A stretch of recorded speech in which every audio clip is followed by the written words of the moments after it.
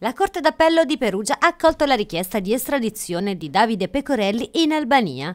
L'imprenditore alto tiberino, titolare di un'attività economica anche a San Sepolcro ed ex arbitro della sezione Aia di Arezzo, destinatario di un mandato di arresto internazionale emesso dal Tribunale di Puche, è stato recentemente condannato a quattro anni di reclusione con rito abbreviato per i reati di truffa aggravata, profanazione di tombe, intralcio alla giustizia, distruzione delle proprietà tramite incendio e attraversamento illegale illecito della frontiera.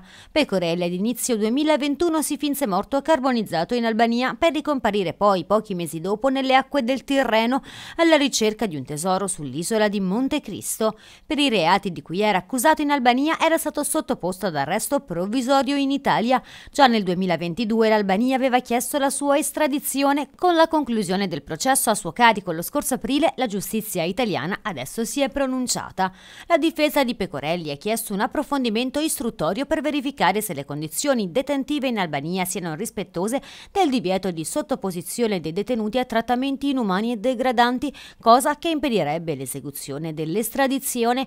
Gli avvocati nel loro intervento hanno tirato in ballo anche il caso di Ilaria Salis, detenuta in Ungheria. I legali infine hanno già annunciato che presenteranno ricorso in Cassazione.